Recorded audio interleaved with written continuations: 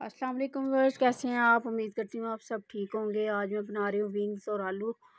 तो ये देखें, ये विंग्स मैंने धो के रख लिए थे। टमाटर हैं, प्याज है और ये विंग्स हैं। तो अब मैं प्याज ब्राउन कर लूँगी। प्याज को ब्राउन करके तो इसे मैं निकाल लूँगी। ये देखें, प्याज ब्राउन होना शुरू हो गया है। ये मसाले हैं जो मैंने डाल डालने हैं। नमक है, पिसी, पिसा हुआ धनिया है, नमक है, हल्दी है और मिर्ची हैं, पिसी हुई। तो प्याज हमारा ब्राउन हो गया था तो इसे हम निकाल लेंगे। टमाटर में, जिसमें टमाटर थे, उसी में मैंने प्याज भी निकाल लिया, अदरक, लहसुन का पेस्ट डाल लिया। अब इससे इसी ऑयल में मैंने डाल दिया है विंग्स को। अब इन्हें फ्राई कर लेंगे। इन्हें अच्छे से फ्राई कर लेंगे। जब तक ग्राइंडर में हम चीज़ें डाल के अदरक, लहसुन, टमाटर और प्याज का पेस्ट बना लेंगे। विंग्स हमारे फ्राई हो गए हैं। अब इसमें जो मैंने ग्राइंडर किया हुआ पेस्ट था, वो डाल दूँगी और मसाले भी डाल देंगे। ये सारे मसाले डाल देंगे और अच्छी तरह से इन्हें भून लेंगे। जब तक तो ऑयल सेपरेट नहीं होगा। तो ये देखिए, ये मैंने डाल दिया। अब इसे इन्हें ढक देंगे। इन्हें पकने के लिए रख देंगे।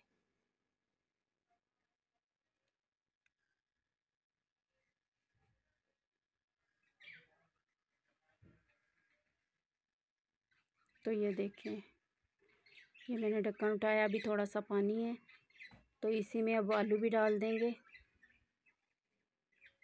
आलूओं को भी इसके साथ भून लेंगे।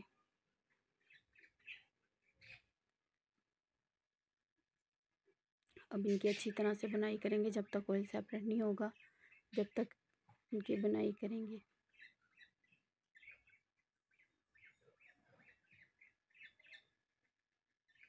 ये देखें।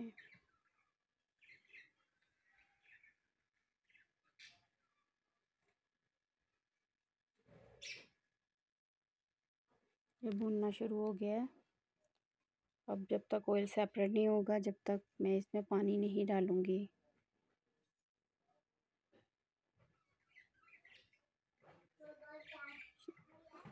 ये देखें ऑयल सेपरेट हो गया है। अब इसमें दही डालूँगी मैं। थोड़ा सा दही मैंने लिया था, उसे डाल दे। तो ये देखें, मैंने दही डाल दिया है। दही डालने के बाद भी इसको भूनेंगे थोड़ा सा।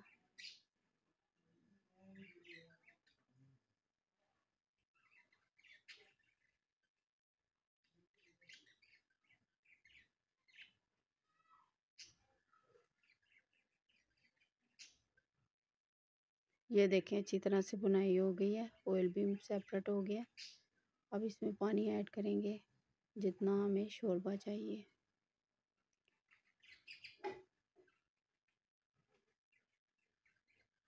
और भी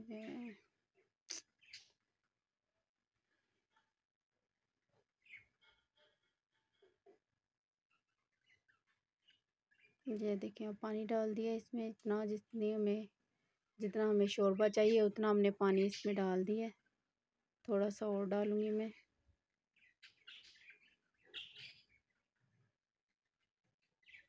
ताकि थोड़ा सा आलू में जो कसारा वो भी गल जाएँगे और शोरबा हमें जितना चाहिए वो मिल जाएगा। ठीक है।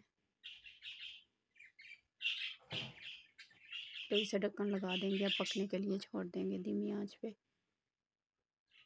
तो ये देखें। आलू विंग्स हमारे बन के तैयार हैं। अब इसमें गर्म मसाला पाउडर डालूँगी मैं, हाफ़ टी स्पून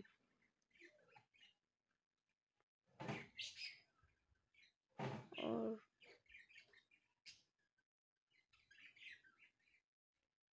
धनिया डालेंगे, हरा धनिया मैंने धो के रखा था, वो डाल दिया है। आपको डिश आउट करके दिखाती हूँ। उम्मीद करती हूँ कि आज की रेसिपी आपको अच्छी लगी होगी। अगर मेरी रेसिपी आपको अच्छी लगी हो तो फैमिली और फ्रेंड के साथ शेयर किया करें, ज़्यादा से ज़्यादा सब्सक्राइब करें।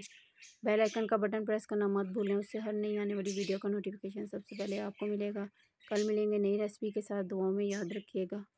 अल्लाह हाफिज़।